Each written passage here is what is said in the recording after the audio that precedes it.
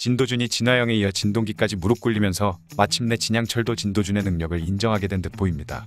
앞으로 순양그룹의 핵심이 될 순양금융을 진도준에게 물려주기 위해 기자회견까지 준비해 놓은 것을 보면 말이죠.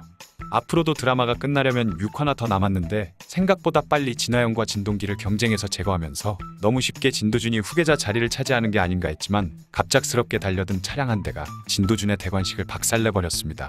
테러 공격을 준비한 범인은 그것만으로는 부족하다고 생각했는지 확실하게 마무리를 지을 덤프트럭까지 뒤이어 돌진시켰죠. 그리고 과거의 일을 회상하던 진도준이 일어날 일은 기어이 일어난다며 체념한 눈빛으로 다가오는 덤프트럭을 쳐다보면서 10화가 끝났습니다. 절체절명의 위기에 처한 진도준이지만 그가 이대로 죽게 될 거라 생각하시는 시청자분들은 아무도 없겠죠. 상식적으로 16부작 드라마에서 주인공이 10화 만에 죽을 리는 없기 때문입니다. 그렇다면 진도준은 대체 어떻게 위기에서 벗어나게 되는 것일까요? 제가 생각하는 진도준의 흑기사는 바로 하인석입니다. 진도준이 진동기에게 결정타를 가한 후에 하인석에게 왜 나를 선택했느냐고 묻는 장면이 나왔죠. 처음에는 굳이 이 장면을 왜 보여주는지 의문이었습니다.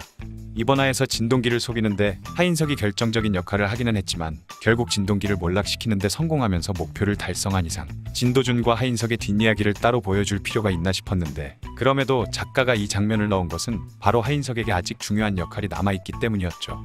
10화의 마지막 장면에서 화면이 검게 변한 후 이어서 들리는 소리를 자세히 들어보면 차량이 충돌하는 소리가 한 번이 아니라 연달아 두 번 나는 것을 알 수 있습니다.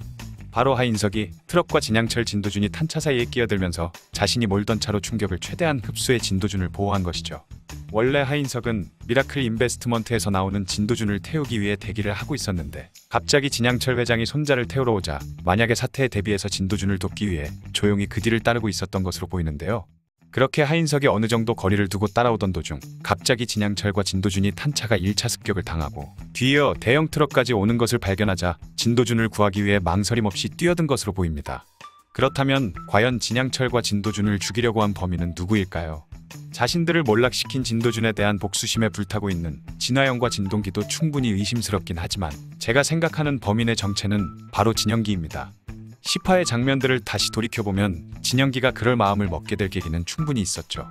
진영기는 2년이라는 시간 동안 거제도에 발령받아 있던 아들 진성준을 다시 서울로 불러들이기 위해 그동안 진성준이 어떤 노력을 했는지 진양철에게 어필해봤지만 아버지에게서 돌아온 대답은 진성준이 거제도에 잘 어울리니 그곳에 계속 있으라는 냉정한 핀잔뿐이었습니다. 대체 언제쯤 아버지가 자신과 아들을 용서해줄까 초조해하고 있던 그에게 갑자기 들이닥친 동생 진동기는 더욱 놀랄만한 소리를 내뱉었죠.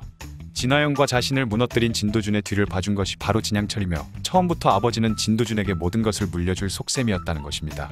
물론 진동기의 말은 모두 그의 착각에 불과했을 뿐 진양철은 자신이 말한 대로 마치 심판처럼 그 누구의 편도 들지 않았죠. 하지만 정확한 사정을 모르는 진영기의 입장에서는 진동기의 말을 듣고도 별다른 대답을 하지 않는 아버지를 보며 어쩌면 진동기의 말이 맞는 게 아닐까 하는 의심이 들었을 겁니다.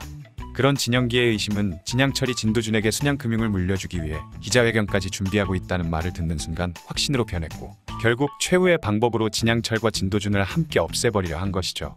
제가 진영기를 의심하는 또 다른 이유는 진도준이 유년 후였던 1회차의 삶에서 진양철과 진도준을 함께 제거했던 사람이 바로 진영기였기 때문입니다.